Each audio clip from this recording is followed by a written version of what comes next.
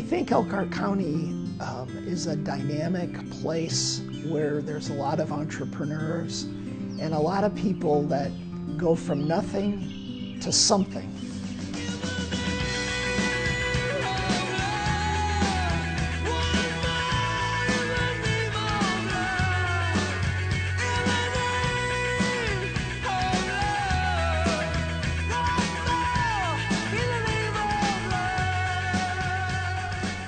Can you not want to spend some time giving back to a community that was so enriching to you? And the wonderful thing in this process is that we've not only seen that that philanthropic history has been fostered with another generation. We're very fortunate to produce David Gundlach, and hopefully his gift will allow us to produce a lot more people just like him who have that sense of community and that sense of caring and that desire to give back. So when we talk about Elkhart County, we, I think in the generations ahead, the next interpretation of history will include a conversation about this man, David Gundlach. First met David uh, when I was a boy at Elcona Country Club. At night, my dad would come and play golf after work, and we would try to squeeze in as many holes as we could. And David was always out there, always looking for a game, and always uh, jumping in and joining along with us. I didn't see anything particular in David's character that let me know that he was going to someday be this amazingly successful person. Um, but there was certainly a spark. There was certainly something that was unique about him. I had no idea that he was as brilliant as he was, really. It was universal with teachers that he was brilliant and doing a good job. Their family became very narrow very quickly. His dad died when David was about eight years old. So then it was Marge and David's older brother, who was 10 years older, and he and his brother were very close. And he had a tragic accident and um, he died. So by the time David was about 11, it was he and his mom. And I think he took, I mean, I think she might have even said to him, You're the man of the family, but wh whatever, he took his role of taking care of her very seriously. He was an interesting guy. He was 12 years older than me, so he wasn't really a kid. He was in, when I got to know him, he was in his later 20s.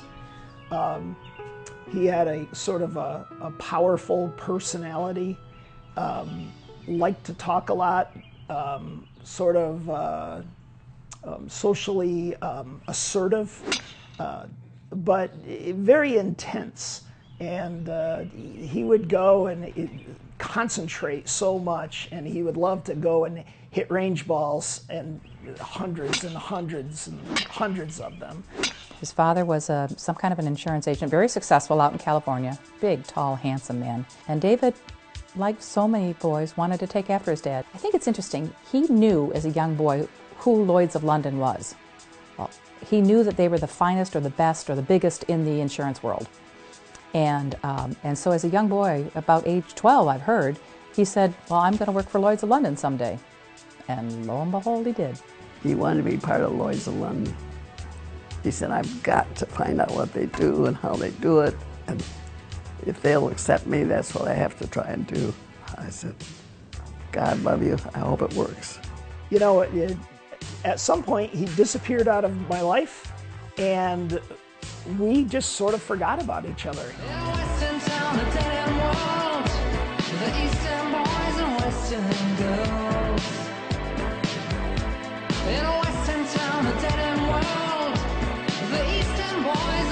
In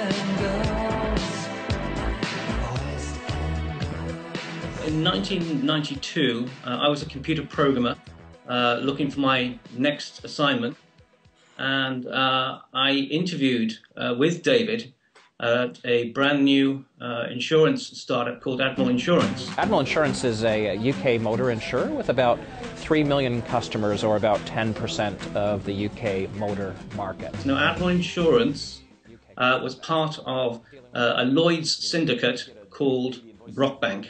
David was there as their IT director, and, uh, and that's how we met. David was very good at finding, on a professional level, was very good at finding very bright people.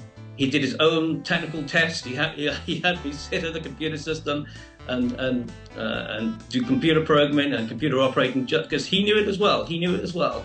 Uh, just to see if I knew what I was talking about. I did, of course. Uh, he was impressed and he hired me straight away. We really hit it off. Um, uh, David, you know, had a, a, great love of business and a great love of technology, uh, and those two things are, are, what I'm interested in as well. And uh, and so we had a you know we had a lot in common, and we shared a lot of similar views about things.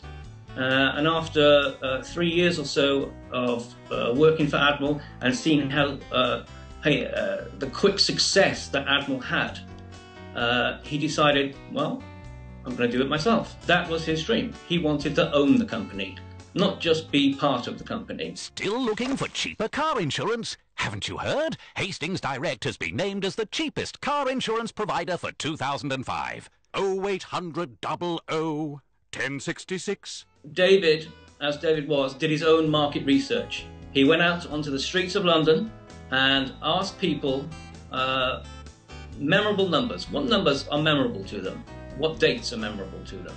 You can imagine David going around with a clipboard on the streets of London, and he came back and he found that there were two main numbers memorable to people here in the UK. 1066, of course, Battle of Hastings. Uh, that has been here on the school curriculum for many years now. And even though people perhaps don't know exactly what happened at the Battle of Hastings, they certainly uh, associate the number 1066 and the word Hastings. 1066 Hastings. Four out of five people could save on their car insurance by calling Hastings Direct. Why not see how much you could save? Don't pay too much for your insurance. Call Hastings Direct now. 0800 00 1066. 1966, well, that was the year that uh, the England soccer team won the World Cup. the only time. Um, unfortunately, uh, only men generally remembered that number. we based the company around five miles away from uh, Hastings itself in a place called Bexhill-on-Sea. But that was an absolute coincidence.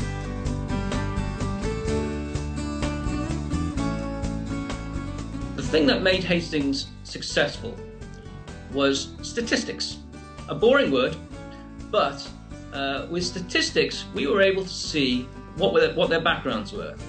And by analysing to an incredible degree, uh, we were able to um, uh, stop taking on risks that we believed would claim in the future. One of the main um, implementations uh, that we did at Hastings was to add lifestyle as a rating factor for insurance, something that had never been done up to that point. And what I mean by lifestyle is that here in the UK, uh, you can get a, a, postcode file, every single postcode, or zip code if you will, of every house here in the UK. And next to each postcode, you'll have um, a rating in terms of what sort of lifestyle group, what sort of lifestyle group that person falls into. Whether they're married, whether they're single, whether they drive a car, whether they have children, the sort of area they, they live in. All these questions uh, all summarized into a single rating. Uh, so what we did, of course, when you call for insurance, you have to give your address, your zip code. As soon as that gets typed into the computer system, we knew pretty well what sort of lifestyle you were leading. And we found a correlation between lifestyle and propensity to claim. Now, when you've got that information, it's like gold because uh, we can then rate accordingly based on that lifestyle factor, giving you a certain type of premium, whether it's high, low, or not even quote you at all. We don't even have to quote here in the UK if we don't want to. Well, it became very successful. Now, what I've heard is that he was an absolute workaholic, that he worked day and night and worked all the time. And he did that for about 10 years. He would rather focus on, on the business and the goals that he wanted to achieve. Uh, that was his main aim. And anything that took time away from doing that uh, had to be dealt with. Uh, domestic chores, things like doing laundry, for example, you all have to do. David did not want to be bothered with those things. Uh, and so uh, what he did was every month he'd go shopping for 30, 40 crisp, clean white shirts. Uh, and that meant that he could have a brand new, out of the package uh, shirt on every single day. The others, they just disappeared after he, after he warned them. He liked to eat out every night, uh, but he would combine that generally uh, with work in, in terms of, you know, he would invite business colleagues al- uh, along, he'd invite new suppliers uh, along, and over dinner, the deals would be done. Uh, but by doing that, he didn't have to be bothered with domestic chores. He could focus all of his efforts, all of his time on the business, which is where, you know, it was better spent as far as he was concerned. The day I realized that Hastings was going to take off and make money was launch day in January uh, 1997, when we sold our very first policy a couple of minutes after opening the phone lines on the very first day of launch. We'd sold something, we'd sold our first policy straight away. And uh, I'll always remember that. It was such a great feeling. It was a single policy, it was a, you know, a few hundred pounds maybe, but it just meant so much more than that because we put so much effort into setting up that business. And I knew, I knew straight away this is the start of something big. He structured it from the very beginning that um, if, that, if, if he was very successful, his success was going to go to charity, which is amazing that he had that forethought from the very beginning. Even though he was working so hard and his whole life was dedicated to uh, creating this wealth and this business, uh, he knew in the end it was in order to give it to charity. He grew that business in about 10, about 10 years. Uh, maybe it was 10, 12 when he sold it. And he sold the business for a lot of money. Uh, you know, we built that business up over a number of years. It had become very successful, Hastings Direct. And uh, the offer was just too good to turn down. Uh, this was the opportunity to get out, make the money, move on to the next project. Uh, and so uh, once he sold Hastings, we then had to make a decision of what to do next. I thought he should take a break. Um, in the end, he decided uh, that break should be uh, going back home, and that's what he did.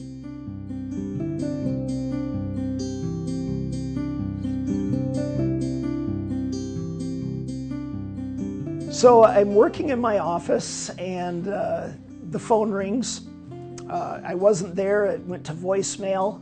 I came back, and there was this voice on the other end saying, This is David Gundlach, and I am back in the United States, and I would love to have you and your father uh, come out to my house, give you a pontoon ride, and uh, take you for dinner at Fly Traps.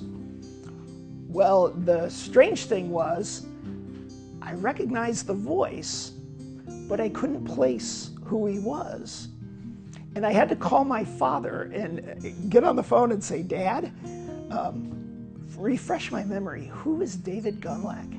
And then he said, Don't you remember? He's the guy we used to play golf with, and he was always looking for a game, and we used to.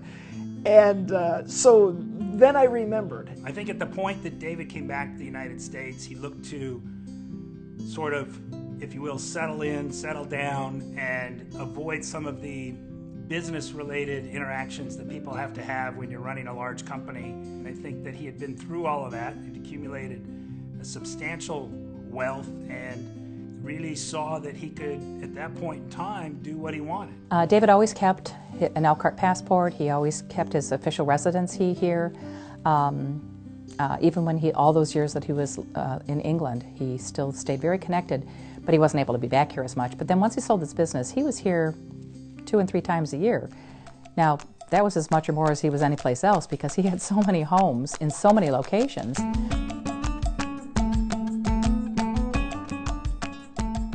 And my dad and I um, accepted his invitation. We went out, had a long conversation with him about what had happened in the 20 years that we had not seen each other.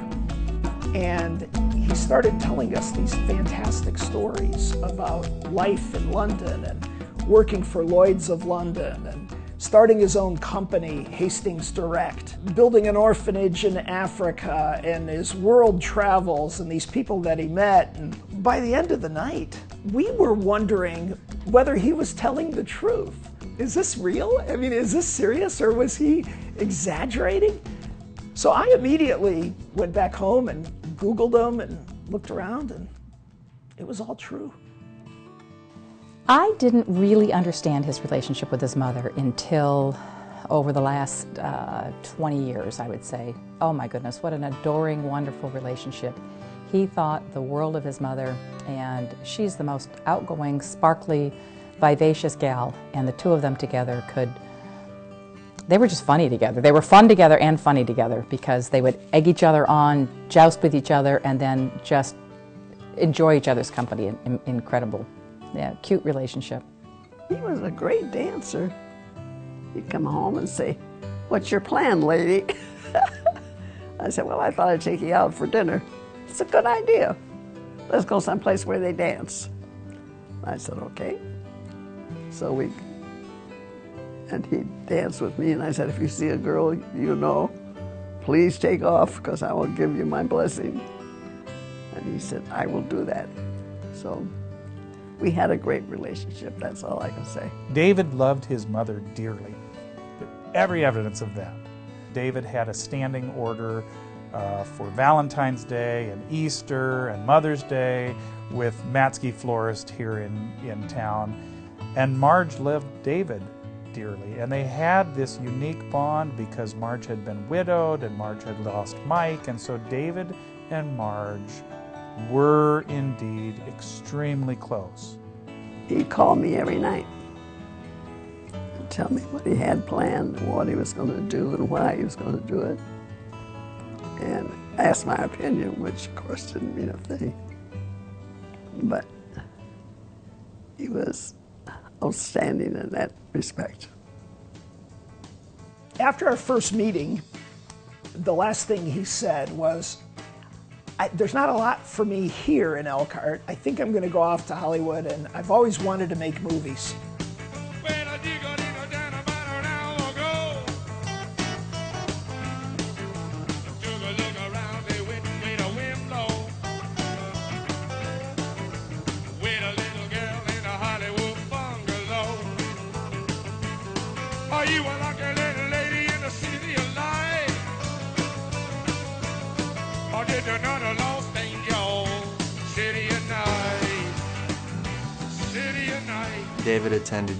USC and he happened to be in a in a dorm filled with entertainment or future entertainment icons. He said, I lived, you know, in the same room or next door to Ron Howard, and It was very ironic 20, 30 years, you know, 30 plus years later that it would come full circle and he would find himself in this same business. When he came back from London, uh, you know, there were rumors, you know, geez, he had done very well over there. So I I knew that, that he had come back and, you know, his time in London was successful, but I didn't know at the time that really he was as wealthy as, as he was. A good friend of mine, Joey Rappa, called me out of the blue one day and he said, I've met a guy who wants to get into film and he's looking for high quality projects that are ready to go. And I think, I think this guy's for real. he would sit by the pool and evaluate scripts and um, try to figure out he really wanted to pick the right movie and he really wanted it to be a storyteller's movie So he would read all these scripts, and you know he didn't like this one, he didn't like this one. But I said, let's set up a dinner and we'll do it. But let me send you the script and here's the package. It was a project called Get Low. David loved this idea, and ultimately, David uh, said, listen, I'll give you all the money you need if you show me two signed contracts, one from Robert Duvall and the other from Bill Murray. Good fortune uh, led us to David Dunlap, who uh, believed in the filmmakers and believed in the, in the screenplay and, and wrote a big check. And, and uh, without David, you know, this film would not have, have been made. You read the paper today? People are dying in bunches everywhere but here. What do you do when people won't die? I'm after a funeral. Boy, are you in luck. Solid pecan, steel handles, whatever you want. Party. A what? A funeral party. And I want to be there. You will be, I guarantee it. I want to be there now. You can't have a funeral if you're not deceased. It's a detail. Pretty big detail. The first day that they were going to shoot, David had gone to a charity event and he had bought a package to go to Super Bowl. And so he had invited me. So he calls me up and he said, You know, I can't go to Super Bowl. And I said, You can't? Why not? You know, I, mean, I was all excited. He said, Well, I can't go because that's the first day shooting of my movie. And I, have got to be there for the first day shooting. I said, You know, I, I understand that. You know, maybe another time, another day, we'll be able to go to the Super Bowl. And of course, he said, Well, no, I can't go. You can still go. You know, you, you just take the package and, and you use it. Do You think you could find anybody? I said, yeah, do I think I can find anybody? I don't think that's going to be a problem. His very first day on set, his slacks caught on fire on one of these space heaters that he just, you know, was standing too close to. And we didn't see him for a few more weeks after that. But, uh, you know, that, that was one of the, the good laughs we all had typical, you know, the, the producer putting up all the monies, you know, his, his wallet was going up in flames as his back seat was on fire, but uh, he, he escaped, uh, uh, you know, unharmed, but maybe maybe his ego bruised a little bit, but um, it was it was a lot of fun. You that I'm guessing might get them, you know, shot. He was very proud of the fact that he met these people, that they respected him, he respected them. He wasn't necessarily in awe of them, but he was one of them. And so for, you know, for, I'll say what the average person to sort of interact with the celebrity types and particularly, you know, the A-list celebrity types in, in Los Angeles, that's a big event. And to be welcomed by the A-list celebrities as being one of them and, you know, hey, let's go to dinner or let's go, you know, to a golf tournament or let's go play golf, something like that, uh, was a really significant event. And it certainly doesn't happen with everybody. Well, when you have uh, Bobby Duvall and, and, and Bill Murray as Sissy Spacek, uh, and then you know Aaron may be a first-time director, but he won the Academy Award for Best Short for Two Soldiers, th- and Dean Zanuck. I thought this was a, a very good bet for me. Any other? What was the budget? Uh, Seven million dollars. You ready to sell? Most of it, yeah. We, we, we call him a big dog. he was the big investor.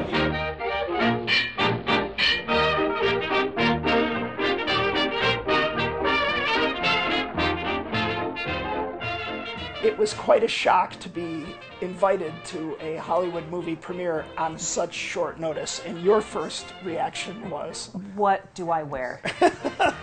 As soon as we arrived, he suddenly said, Well, I'm not going to be able to spend dinner with you tonight because I have to go to a dinner with Bobby Duvall. and we looked at each other and said, Really? And we came to find out when he came home that he uh, very commonly went and played cards with Tobey Maguire and Le- uh, Leonardo DiCaprio. He had rented one of his houses to Pete Sampras, and um, so he, really was um, a part of Hollywood uh, in the short period of time that he was there. So as we went around uh, to various places in the days leading up to the premiere, one of the places we went to was the Beverly Hills Hotel. And we're having a great time and we're toasting his success. And there's a couple of other friends that come by. And there's this guy sitting at the booth next to us that really had me disturbed. And I actually came back from the restroom and said a prayer for the guy quietly saying, Lord, please bless this person. He looks so miserable. and I turned and I nudged Margie and I said, Did you see this guy? Thinking that, you know, she probably had. Yeah, and that I felt as sorry for him. And, you know, I said, You have no idea who that is, do you? I didn't have and, any and he's, idea who you know, no. And I said, Well, it's Nicolas Cage. and uh, to which he said, Who's Nicolas Cage? then David noticed him, and David was so nice to people that when he saw him sitting there and he heard what we had just said, he got up and went over to him and said, Would you like to join our table? we're having all this time, and we were, you know, a little sheepish because we were being loud and funny and laughing, and he was just sitting there, and, and uh, Nicolas Cage was very nice. He said, No, I'm waiting for somebody, and they'll be here shortly. Um, but it was just like David to march right over to him and invite him to join the party. So he tells me one day, he says, You know, I'm going to go look at this house and I might buy a place in Malibu. Well, he comes back and he said, I bought this house in Malibu. I said, You bought a place in Malibu? I always wanted to live on the water. I said, Well, how much that cost you? Oh, $20 million. You pull up, and you really can't tell because most of it is over the cliff and facing the ocean. But the garage door opens, and there's a Rolls Royce right there, to which David said, Darn, I forgot. We have to drive the Rolls Royce this week because I crashed the Bentley. And then my eyes immediately dart to the corner of the garage where there is a bright red Ferrari, just like Magnum PI used to drive, which I commented on, and David told me to stay away from it.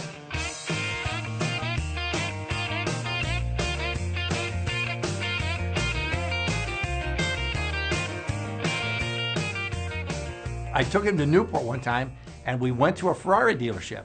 He says, Take me by the Ferrari dealership. So I said, Okay. So we go by there and he walks in, he tells this guy he'd like to drive this. Well, this guy really didn't know anything about gun, so he wouldn't he wouldn't let him drive the car. So David left. He was not very happy. He, he got in the car and he goes, This is ridiculous. You know, I could have given him information. and he wouldn't let me test drive this. So I said, Well, David, you know, I don't know. He just he didn't know you. He doesn't know much about you. Don't worry about it. It's no big deal. He said, "Yeah, okay." So I talked to him three days later, and I said, "What are you doing?" He said, "Well, I got my new car in the garage." I said, "What do you mean you got your new car?" He said, well, "I went to Beverly Hills, went in the Ferrari place, told the guy I wanted to drive this. The guy said, "Sure." I drove the car, and I said, "Fine, I'll- I'll buy it." So he, he just bought this new Ferrari. He wanted to come back down to Newport because he wanted to take it into the dealership, show the guy he missed out on the sale because he wouldn't let him test drive the car. Oh, that was so fun. His cars were amazing. He had a Rolls Royce and he had uh, Bentleys and Ferraris and Porsche and um, Lexus and uh, Corvette. It was quite a lineup. A couple of Priuses. It was quite a quite a uh, fleet he had, but they were scattered all over the place. And one day, I said to him, I said, You're not driving the Ferrari. I know, I don't like driving that thing. It's too rigid, it's too stiff. I said, Why did you buy it? He says, I always wanted a Ferrari. So I figured, Why not? I'll buy the Ferrari. So he, you know, he, he bought his Ferrari. So a lot of the, what I would say, um, upper end homes that are around, you can't sit in the living room, but it's pretty to look at as you walk by. Uh, David's homes weren't like that. David's homes were very comfortable, and very nice, but very comfortable to sit in. with balconies overlooking the ocean on all three levels. The whole main uh, bottom level was David's suite. The main level, you know, was the living area and kitchen. Had an elevator, um, it, a lap pool that was full with uh, salt water from the ocean, but just beautiful. When the tide would come in, it would be under the house. You know, that's how right on the ocean it was. We could lay in bed in the morning and see the dolphins you know, in the ocean, and you know, floor to ceiling glass windows, and an amazingly beautiful, beautiful home he had. My first shock was that it was cost five thousand dollars a month to wash the windows. Five thousand a month. The realness to David, you know, maybe if you will, the Midwest boy didn't need to have um, anything to prove to anybody. He had what he wanted. Yeah, I mean, I, I could go on about his houses. He was a very interesting guy that way. And then he was going to do this political stuff and he was going to do some charity work in Vegas. So he bought two condos. And we don't even stay actually in the condos because the charity event was at a hotel. So he put us up at a hotel. And um, then we go back to the condos. We're laying around the pool and he says, I'll be back in an hour or so. I said, okay. So he comes back about two hours later and I said, where have you been? He said, well, I bought a house. I said, You bought a house? You've already got two condos that you never use in Vegas. Well, yeah, but if I'm going to do some political stuff, I'm going to try and do this charity for kids, I need a big place to entertain. One day he called us up and said, I just bought a house in Vegas. It's perfect for your children. He called it and was so excited it had a go kart track. I just bought go karts. When can you come out? Well, it's the middle of it was March, I think, M- middle of the school year. You know, how soon can you be here? And like David, you know, they're in school. They've got we got you know, stuff going. We can't just pick up and go. He didn't understand that Yeah. we just weren't that flexible. Right. Because he said, well, why wouldn't you Why come? wouldn't you we just have an right indoor playground. I bought this house with your kids in mind. He thought he could get into the Masters. So he goes online and he looks at a place close by called Reynolds Plantation. He sees all these homes there. And so he calls a real estate agent and says, I want to buy this place. So he took myself and others to the Masters, which is another story. There eight of us. That's the first time he went and stayed in the house. He got to be pretty close with our children. He finally had the idea to send our family down to his vacation home in Reynolds Plantation in Georgia. And once he fell in love with our kids, um, he really he, he wanted that for them. There's so much to do there. You, you were never bored. We barely ever left the house. Um, I think my personal favorite part was the game room. Well, game room slash home theater slash bar. Anything you could, anything. a, kid, a kid's dream. It was, bar. It was great. The longer I got to know David, the more it occurred to me that all his houses were set up to entertain. But I never witnessed him actually entertaining. And we pull a lot of kids out of Southern California, and we wanted to have a send off event. It was the one time I actually ever asked David for anything. I said, David, would you like to host a gathering for us? And he said, Yes, I would love to. The night before, a former student of mine contacted me and she poured her heart out because her brother was a Navy SEAL. And that morning, his helicopter had been shot down in Afghanistan. All 16 of the Navy SEALs were killed. And as we began the event, David piped up from the back of the room and he took the floor, began to speak about how much he admired people that had served their country and how he had always wanted to, but David had flat feet.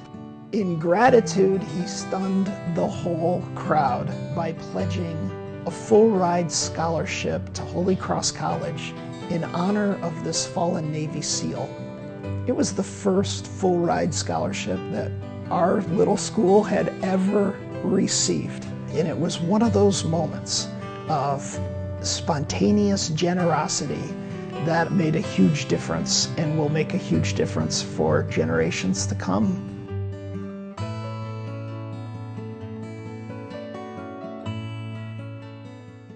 When he was in Los Angeles, one of David's obvious favorite hobbies was uh, he loved to play poker. A lot of times these guys get mouths on them and they get a little carried away. You know, you you would not hear David swear at the card table. And you know, if I said something, he'd look over at me like, Peterson, you, know, you shouldn't talk like that. So, you know, he was, he was very funny a lot of ways like that. One of the reasons that he liked to play poker was it gave him an opportunity to sort of interact with other people, to meet other people, to talk to other people that in his sort of daily world, absent poker or a few other things, he would not really have those opportunities um, to meet with other people. That leads me to another subject then. As I said, when are you going to get a girlfriend here? I mean, you're playing cards. So he actually had one of these dating services. They came out to his house to interview him. And he started dating this gal. So I would ask him, How's this going? Well, I really like her, but, you know, she, she wants me to spend all this time with her. And I said, I know, David, if you're going to be in a relationship, that's what they're going to want. They're going to want you to spend some time. And of course, I said to him, I said, You didn't tell her how much money you have, did you? I said, You don't want to know. I said, They're all going to fall in love with you if you tell them how much money. You know, if we talk about his, his love life and his females, you know, uh, at this stage, you know, he just, um, he said he just didn't have time for a relationship like that. But yet, he said, you know, he would love to get married. He would love to have kids, and he, he, loved kids. That's what he really wanted. So, you know, as shallow as it may seem, a lot of a lot of these people that he would run into were interested in David, you know, just for his money. Um, I, I, think he could he could see through that most of the time. Uh, I, I, mean, it's it's something that wealthy individuals have to, to deal with, but in Hollywood, it's pretty pervasive. I think David felt most comfortable with people from Elkhart. We used to have heart to hearts about this. Um, you know, I, I used to have long talks with David about the challenge of being friends with someone who we're in such different socioeconomic classes. You know, he's hobnobbing with the Hollywood elite. He's going to the White House for dinner. And uh, there's just, uh, there's a challenge in having a friendship like that where I'm not doing those things. Uh, he was self-conscious of that. And he once said to me, sitting in private, just he and I, he said, You know, I'm thinking of moving back to Elkhart for more of the year because when I'm around people from Elkhart, I like myself better. Um, and I just feel more comfortable. So he was comfortable in Hollywood, but really he had a sense of home in Elkhart. Um, I think that he like many, might have been disillusioned by Hollywood towards the end. You know, I think that it was a great thing to do, but maybe not something that he would continue to do. He, he would always go back to Elkhart every year because he, he loved the Fourth of July celebration. The relationships that he had here were really positive and with really great people. Um, Elkhart is surprisingly, um, know, we're, we're unique because it's such a middle of the road place with extraordinary people. And David was just one, one of those. He would see old friends, he would see some family members, but, you know, he really went back there to spend time and be with his mom. I think everything centered around Marge, his mom. taking care of her was paramount to him. In the middle of the summer, Mike Pianowski called me and said, Hey, would you have some time in the next week or two? One of my clients, Dave Gundlach, is here visiting his mom, and I mentioned that that you had assumed the presidency, and I kind of chuckled and said, "Well, Mike, I'm not even on. You know, I haven't even gone on the payroll yet. But yes, I'll shave my face. I'll put on a, a sport coat, and I'd be happy to come over and meet Dave." And so we we sat and visited for an hour, an hour and a half. And in, in the midst of that conversation, he said, Well, Pete, I wanted to meet you because uh, I've included the Community Foundation in my estate plan, and Mike thought the two of us should get to know each other. He made it clear to me that he would not tell me everything regarding specific assets and his total wealth. He actually told me at one time that he laughed and said, You're going to have trouble when I die finding everything and, and processing it. And Dave, Dave had uh, a global perspective, and so he had done some giving around the globe. Uh, this was a 56 year old man who was in reasonably good health when we met. Um, so I, did, I didn't feel a compel a compelling urgency to, to nail all this down, but but I said, you know, Dave, what are you hoping to accomplish with this? So, on behalf of our community, and the two of us will probably be old men playing golf somewhere, still working this out, but in my role on behalf of this community, I want you to know how much we appreciate your decision. One of David's inspirations in his life was Art Decio. And he had told me on a number of occasions that he wanted to model his philanthropy um, sort of after the way that Art had done things. Um, maybe not as an exact model, but as an inspiration. Art Decio was an inspiration to him. And so when Dave left that day, he had made a commitment to give $100,000 to what we call a donor advised fund and left it here at the Community Foundation. And so Dave was a lifetime donor to the Community Foundation. And the two of us agreed that the intent of that was for he and I to practice together his giving. I certainly knew that Dave was going to uh, give all of his money that he made to charity. He always said he would. He said he was, in particular, he said he really wanted to go to children's charities. So yes, he told me that we were in his estate plan, but it wasn't appropriate for me at that time to have a sense of necessity that I know the details of that, and he chose not to share it at the time. Um, you know, the, the, one thing that, that, that when Dave and I were together, uh, I find somewhat humorous as I look back we were sitting across from each other, but he gave me a wink and a bit of a pat on the knee and said, As I understand, the Community Foundation exists to do good in my hometown. And he said, Well, kiddo, I, it seems to me you and your board are better qualified to decide what happens with my gift than I am. And there is a sentimentality, there's, there's a tie in. You know, you grow up in a certain place and you never forget where you came from. And you know, and that passed over kind of as a as a just a, a, a humorous deflection of the fact that the two of us were meeting for the first time.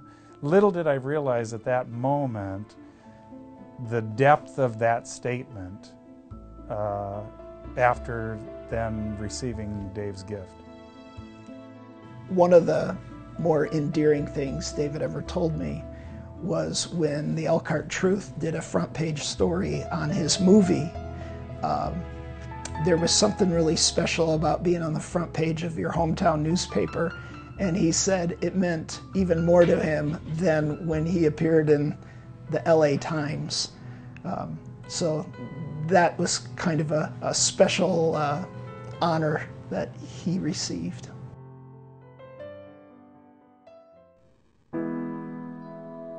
I'd been aware that he'd had some health problems, and I'd been aware that he'd had chronic pain. It was certainly nothing life threatening, but I also knew that if anything ever happened to him, that I was going to be on point. So when I got the call, I was on a business function, and then I immediately called my mother and said, Mom, go over to Marge's, take her some flowers, sit with her, tell her I'm on the next plane, I'll be there as quick as I can. They say everything can be replaced. They say every distance is not near. He's a son that every mother and father would love to have because there was nothing that he couldn't do or wouldn't try to do. And he was so family oriented. That, that was his life. One in a million. I see my light shining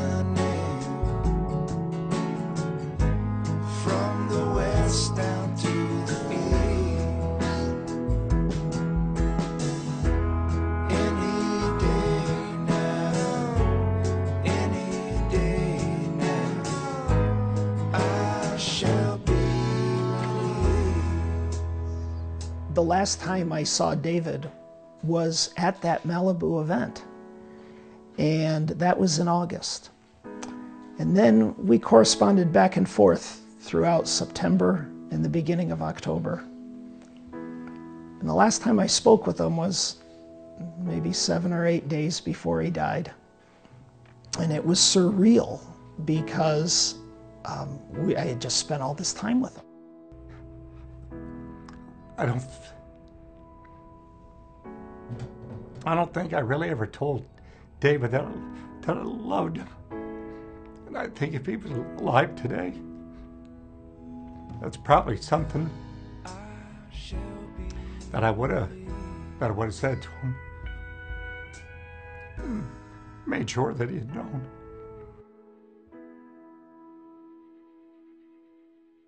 He would not have wanted people to to grieve his loss. He would want you to appreciate his uh, his life, and uh, there was a realness to his approach to the world.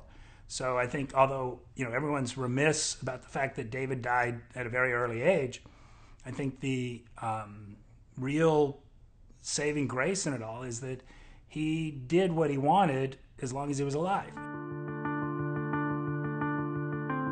Part of David's assets were actually controlled in Switzerland um, in a numbered account, just like you would see in the big time movies.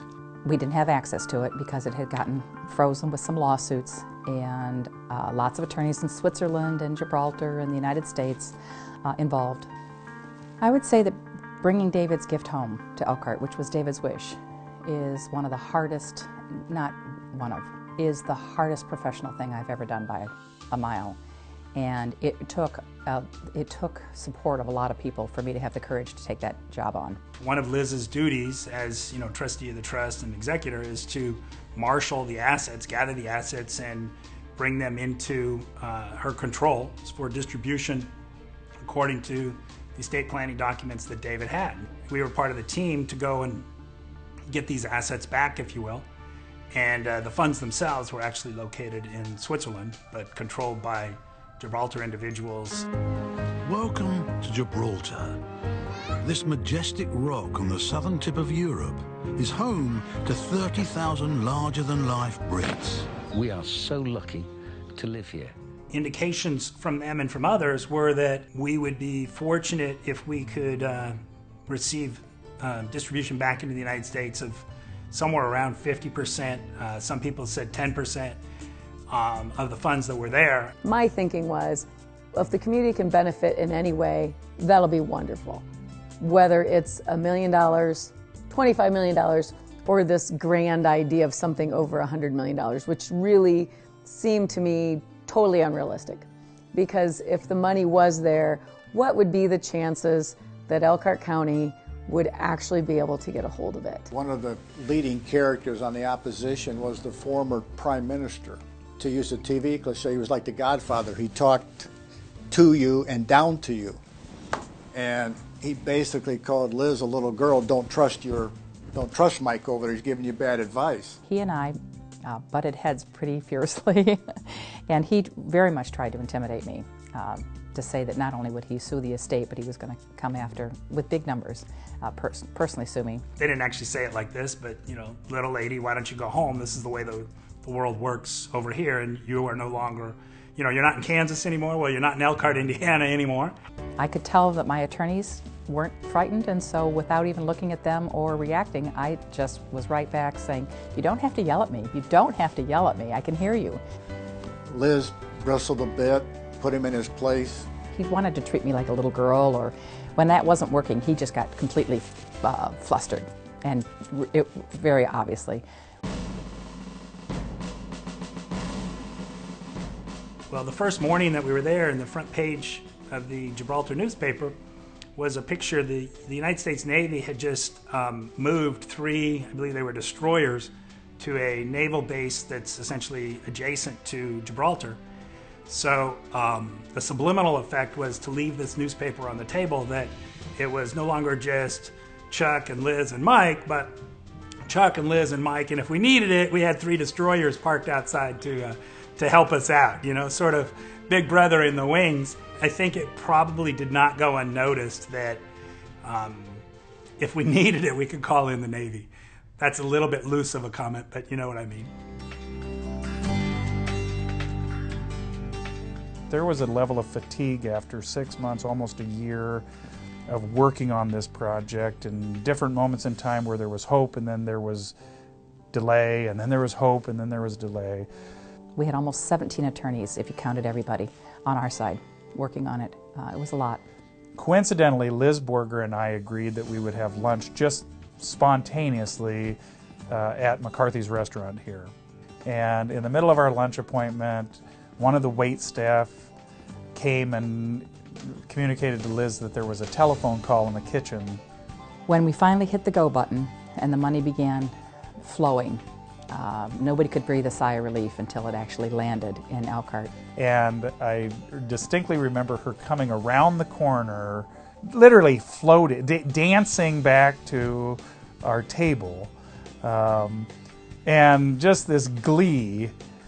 And it, it was a call from her financial institution to her to confirmed that the $113 million had been deposited electronically into the Community Foundation account.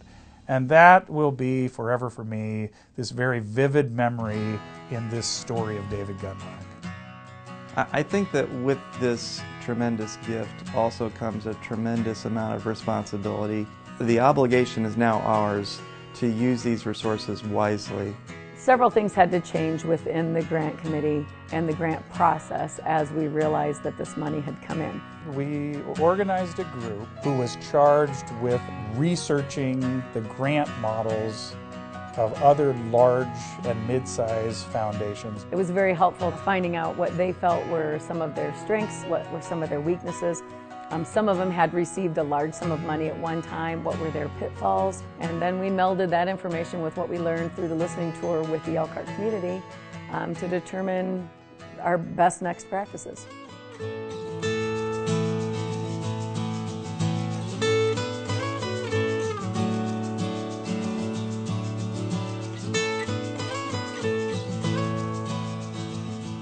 Uh, there's so many of us that, that uh, really believe that this community can be great that, that it doesn't have to be just good enough. And And I think what the David Gundlach gift does is it, is it uh, helps us begin dreaming and, and, and, and, developing a vision for what this community really can be and, and uh, start working toward making that a reality and, and making those ideas possible.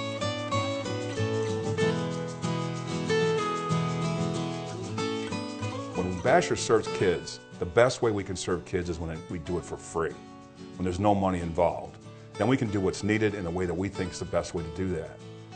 This money will allow this community to do that on a broad scale. We can do what we want, the way we want to do it, without restriction, without limitation. Having a gift like this helps me to work with the community to do the kinds of things we want to do for all citizens. Give them that chance, that opportunity to be successful if they have the ambition, they have the dreams, and you know just the gumption to get up and do it. You know, this gift helps to us for us to provide those kind of opportunities for those individuals.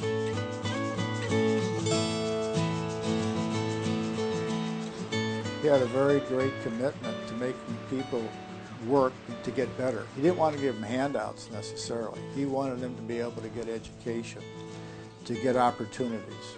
The legacy that Dave leaves is enormous for our Michiana area.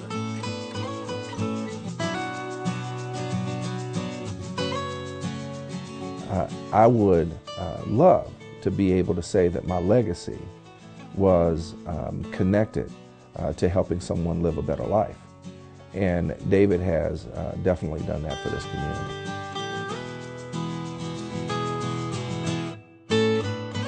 I see this gift being a transformative event in the community's history, almost as important in some ways as Elkhart's very founding.